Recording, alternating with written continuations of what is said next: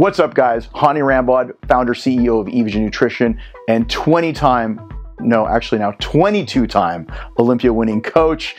Had a great, great season this year, and now I'm gonna make it even better. Introducing to you a limited edition, the new EVP Xtreme NO Grape Cotton Candy.